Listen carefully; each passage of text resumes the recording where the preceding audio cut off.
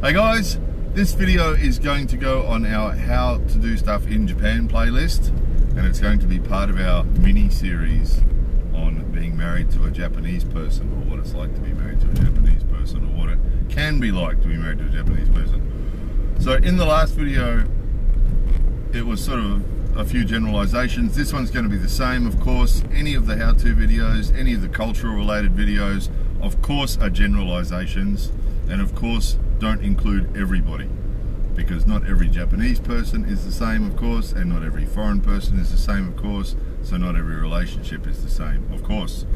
These are just generalizations and general observations based on what we see. And often with cultural things the reason that they're generalizations is because they're generally true. It's, it's just the way it is right? Not always true but often true. And the things we're talking about in the last video are, true in the majority of cases, but of course not always. So what we're going to talk about today is the same. Not always true, but quite often it is. So in the last video, just as an example of some of the difficulties, we weren't really getting into any detail in the last video, it was just sort of introduction to the topic, recommending that people don't do it basically. But as one of the examples of the difficulties, we mentioned brief, briefly about about how cheating is considered to be sort of an accepted thing, not an acceptable thing, but an accepted thing. That it happens. It just happens, and best not to think about it, best not to talk about it. Let's ignore it and not mention it, not talk about it. And that's usually the way it's dealt with here, usually. And any form of jealousy or any question, asking of questions or, or mini interrogations or anything like that is considered extremely uncool. And the mention of that triggered a lot of comments from people who said that they couldn't deal with that or didn't like that or didn't like the sound of that at all. And we actually got some private messages from people uh, who sort of went into a little bit more detail about their feelings about that and their experiences about that as well. So it sort of became obvious that that had to be the topic of this video, of video number two of this mini series. And it, it's probably not a bad one because it's sort of central to a lot of the things about Japanese relationships, and in in it will give examples of other aspects of the Japanese relationships as well. So, so what what foreigners who who have Japanese partners are often surprised by some of the things that, that will surprise them. One of them is that before Japanese people are married, quite often they're not necessarily very close they're, they're, they're often often it's surprising. You'll see somebody every week, you know, and suddenly they'll tell you, I'm engaged. And it's like, well, I didn't even know you had a boyfriend. I didn't even know you had a girlfriend and you're engaged. And and quite it's quite common for someone to spend maybe an hour or two on the weekend with somebody once a week. And then suddenly they're engaged to that person and they're getting married. And they're both still living at home with their parents and then they're going to get married and live together for the rest of their lives allegedly. So it's quite common. So they're not particularly close. And they'll quite often tell you, the girls will often tell you, oh, he's, you say, oh, you're engaged, really? I didn't know you had a boyfriend. What's he like? Uh, he has a good job and he's a hard worker and he's very kind. They're usually the most important topics. That's usually what they mention. And oh, and there's a lady I'm thinking of at the moment who is quite a funny lady, and I said to her, "Does he make you laugh?" Because she's quite into having a laugh. Oh, not really. He's not very funny, she said. So, but he had a good job and he works hard and he's kind to her. So that that's enough, sort of thing. So, not particularly close to start off with. So, after they're married, that often continues, which means it's quite normal for, for Japanese people to be married and for them to spend most of their free time, or most of their working time, obviously, busy working, and then most of their free time apart doing different things. And, and spending time with their, their friends and you see it here all the time. You go to a family restaurant on a Saturday night and you'll see a table of ladies. And over there you'll see a table of guys. And they just live separately. And when a wedding invitation turns up to one of their friends is getting married and they get a wedding invitation it's only for that person. So in a lot of countries if a wedding invitation turns up uh, for somebody. Usually it says them and friend, doesn't it? Or them and husband, or them and wife, or them and somebody. They can bring anyone they want, usually. Whereas in Japan, when a wedding invitation turns up, it's only for that person. So they'll go off to weddings and they go off to all sorts of events and spend all their time with their friends. And quite often, uh, school reunion type events. Quite often, those wedding events can be school reunion type events because it's their all, all their old school friends. Um, quite often, just Saturday night, they'll go out to dinner with all their old school friends, and they might be 30 years old, but those group connections from school are sort of fairly important still. So, so they might be 30 years old, but they'll all go out to dinner with their old school friends, which means quite often in those old school friends are old boyfriends and girlfriends, aren't they? So imagine you're married to a Japanese person, and Saturday night rolls around, and they, they say, "All right, I'm going," and and uh, you know, a bit of reunion on with the old school friends. See you later, and off they go. And and they might not they might not come home till the next day. Quite often it's in another city. If they've moved city from where they actually grew up, quite often it's in another city, and they might say, "Going to a reunion tonight, uh, won't be back till tomorrow night. See you." And then they'll turn back turn up at home the next night, and so and you say, "Oh, did you have fun?" Yeah, and that's about all you should ask. so this is what it's like. This is what's normal in Japan, and people here have grown up seeing friends and family and their own parents and their aunts and their uncles and everybody in their lives living like this usually. So from a Japanese person's perspective this is all perfectly normal which means if you marry a Japanese person and you start asking them questions hey look where did who was there last night was your ex-boyfriend there or your ex-girlfriend was there or where did you stay last night? Where did, where did you stay and who stayed there with you? And you start asking any questions like that and it's going to make them uncomfortable and it's going to make you look really uh, weak and clingy. A lot of the things that in some societies are considered normal, in Japanese society are considered clingy.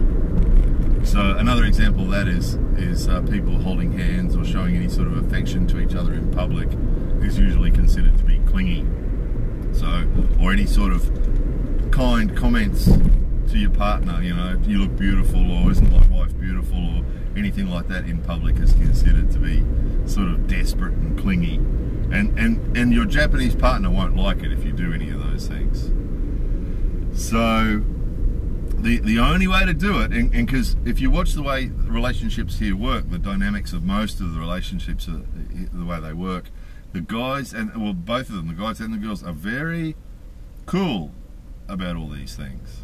So whether it's the husband or the wife so imagine it's the husband that goes off Saturday afternoon he goes off and says he's going to a reunion with his old school friends and doesn't come back till Sunday night and the wife would be the same. He'll walk in the door and she'll say was it fun and he'll say yeah it was fun and that's probably the end of the conversation probably and she won't be asking any other questions or, or sort of pushing on it. If he wants to tell us some stuff that happened, oh, a funny thing happened, and tell some stories, of course, that's okay. But as far as her asking questions or wanting to know, it's not going to happen. So, very early on, when I first came to Japan, I had a girlfriend at the time who went out somewhere, and I was out somewhere too. So she was going out for a weekend with her friends or for a night with her friends. And so while she was out doing that, I went to a, a place where my friends were. It was a bar, and we're drinking. And it was, and she said she'd call me when she got home. So the plan was she was going to call when she got home, leave a message, and we are going to meet somewhere. And it was like four o'clock in the morning, and there was no message. And I'm, I sent her a message, didn't get an answer.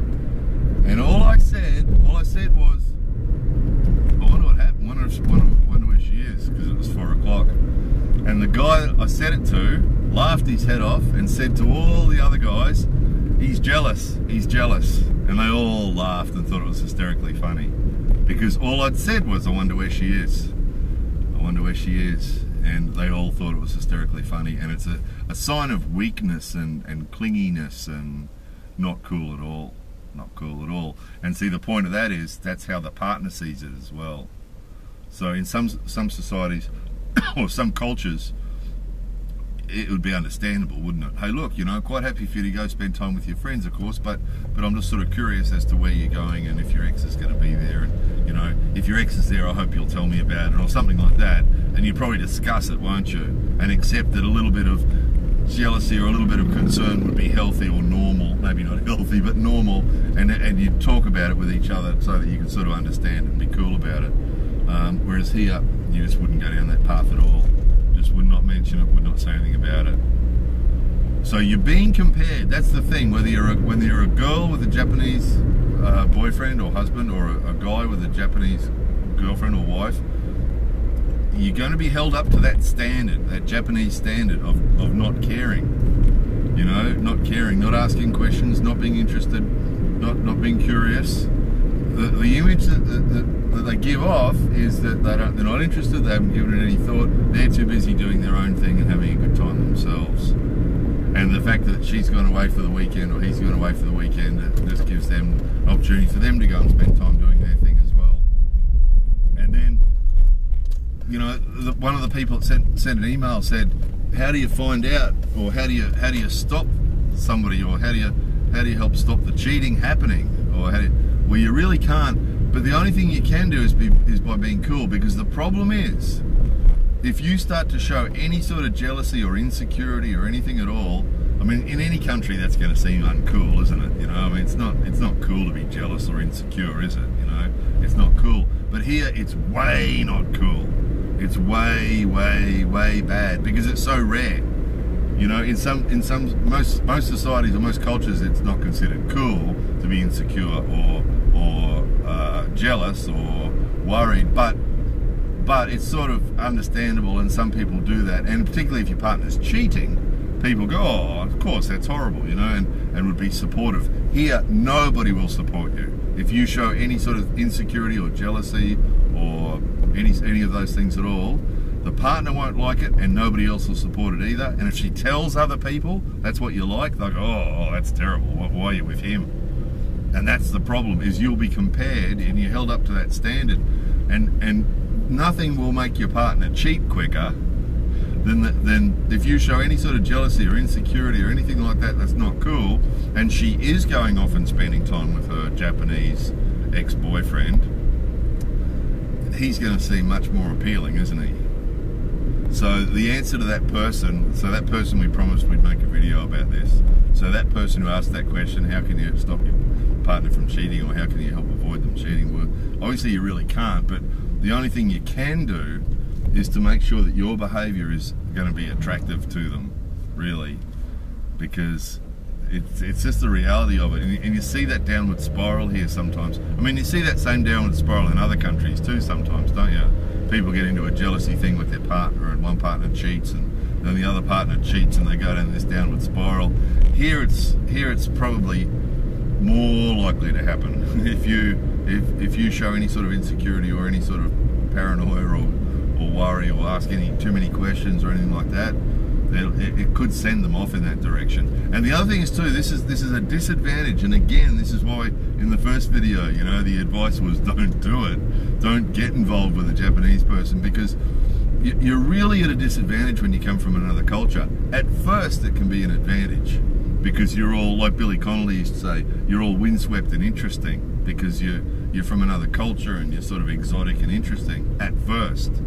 But once you're married and once once you're married, being different is not cool in Japan usually. And again, this is generalizing, but most Japanese partners will want you to behave like other Japanese people will, pretty much, mostly, and particularly with topics like this. And even if they do understand, and this is another thing, is that quite often the mistake people make, particularly if they're partners, most foreigners end up with, with Japanese people who can speak English. It's just what happens mostly. Didn't happen to me. We only speak Japanese in my house, but quite often with foreigners they end up with Japanese people who can speak English. And the mistake that can come from that is that that can trick you into thinking that because they speak English and because they sort of understand a bit about your culture, that they're different from other Japanese people because they understand.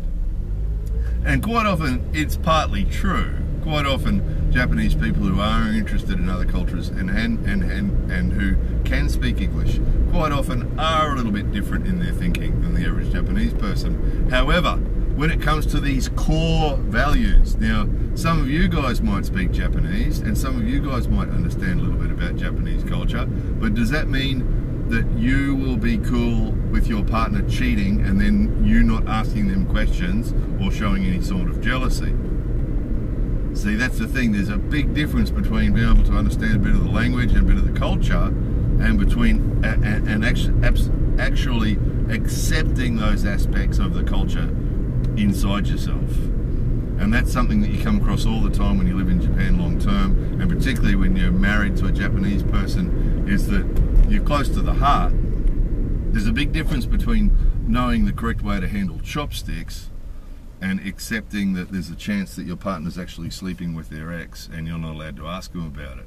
And if you do ask them about it, that you're going to seem less cool and they're going to be less attracted to you and more attracted to the other person, and that could push them in the other direction. So,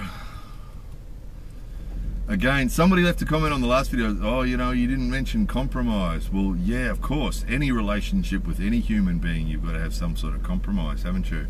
And even more so when you've got the cultural differences like this. And this is the deal.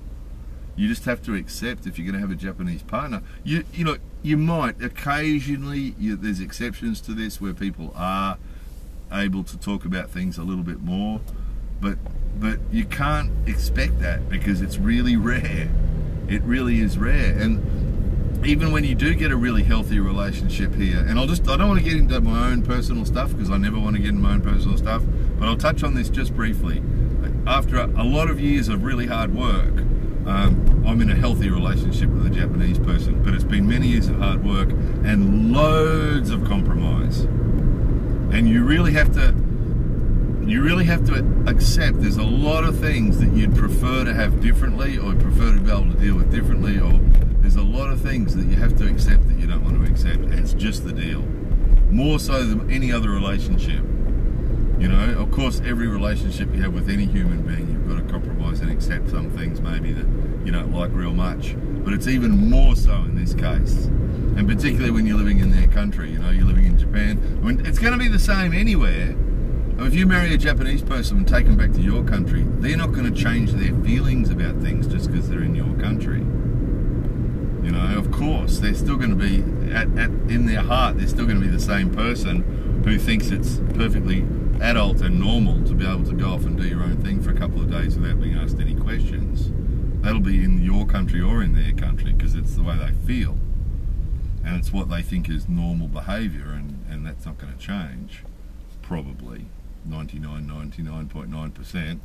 But but even more so when you live in Japan, there's a lot of things that you just have to accept. And that and that these things that might in our countries might seem normal when we live in Japan to, to everyone else those things those sort of things the example with the with the with the not asking questions and not showing any sort of no interest at all really you know?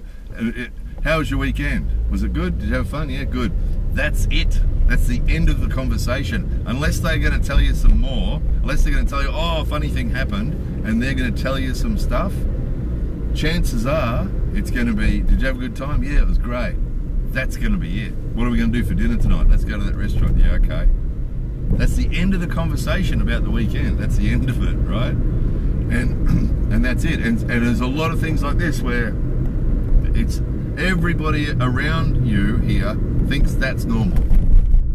And even if you don't think it's normal, and hey, wait, look, outside outside Japan, that's not normal. Well, too bad. Because in, in, in, in Japan, and particularly in your relationship with that Japanese person, that's normal. And that's going to be normal, and you just have to accept it. And we're going to make more videos about this. I've already got a list, because people have been sending messages and asking questions, and there's already a list of topics that we have to cover it, it's going to be one of those mini series that go on for a while, I think, because there's so many topics that we've got to get to. But, but there's a lot of things like this that we just have to accept. Another one, just touching briefly on the jealousy thing. Those of you who, who've read the book, we wrote the book we've done on how to um, how to do stuff in Japan. We touched on this. It's very normal for you to be with your partner And uh, for someone to say to you, wow, your wife is very cute. Uh, some guy, some guy to say to you, your wife is very cute. Or for some girl to say to your wife, hey, your husband's very cool. Um, and that's all very normal. And you have to just be modest about it. Go, oh no, she's all right, you know. But she'll also do the same thing. So some girl says to her, hey, your husband's very cool. It's not uncommon for a Japanese wife to say, oh no, he's not very cool. He's very uncool. And we hear this all the time. Hear this all the time. Some some lady's husband or boyfriend does something cool and we'll say, oh, wow, that's really cool. What a cool thing he did. And she'll say, oh, he's really uncool. He's really annoying. You know, he's not cool at all. He's really annoying.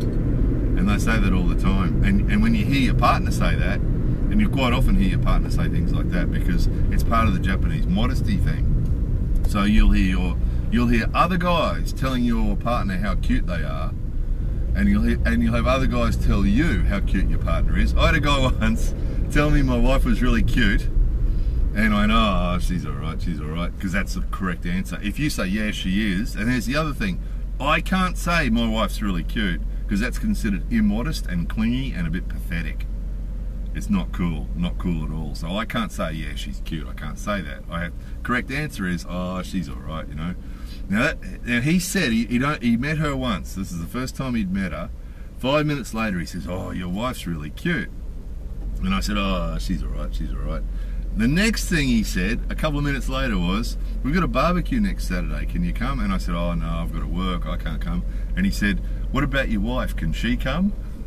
right?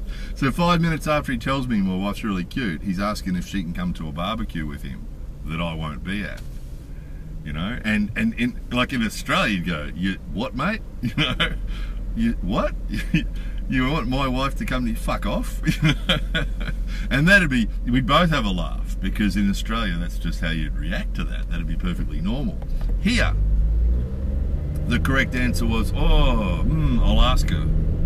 had to call her over and ask her, there's a barbecue on next Saturday and, you know, do you want to come? And she said, oh no, she had another plan so she couldn't come. But all perfectly normal. And if she'd said, yeah, i will come, and, and this guy that just told us how cute she was says, oh, well, I'll come pick you up and I'll take you to the barbecue while your husband's at work. And it's all normal. All perfectly normal.